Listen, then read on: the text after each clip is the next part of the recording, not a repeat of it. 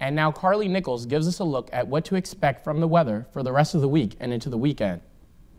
As you can see on radar right now, we, can, we have a pretty strong cold front that's sitting over the Midwest, draped right north of Michigan, back through Illinois, and unfortunately, that is going to make for some pretty stormy weather over the next couple of days. But to break the timing of that cold front down for you a little bit more, you can see tomorrow or early tonight, I guess you should say 4 a.m. overnight tonight, Northwest Pennsylvania is where that cold front's going to lie, so they're going to be having some storms firing up.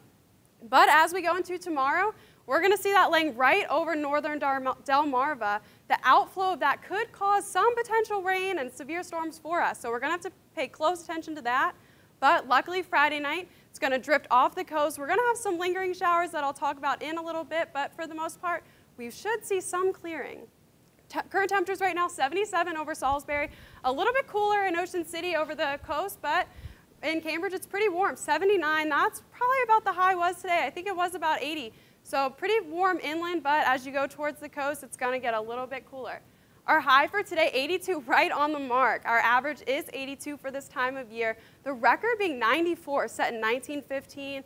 Luckily, we're not seeing those conditions right now. I know everyone's pretty much ready for some relief from the warm and humid air.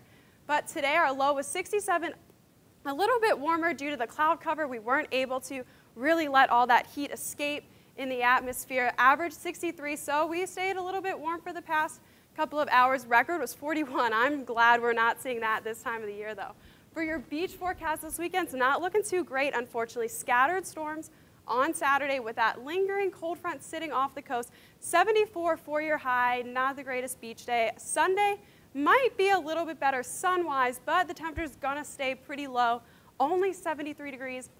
The morning rain is a chance just because of that cold front lingering Saturday, but we'll have to keep an eye on that. Water temperature 73. You can start to see that cooling down a little bit as well, so we got to get to the beach while we can.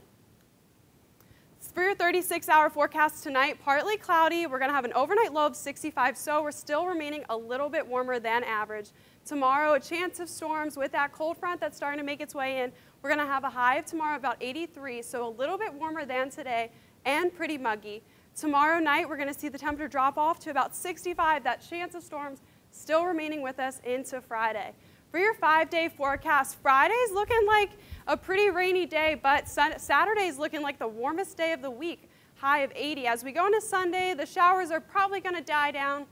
And as we go into early next week, the temperatures are also going to start to drop. Back to you, Eli.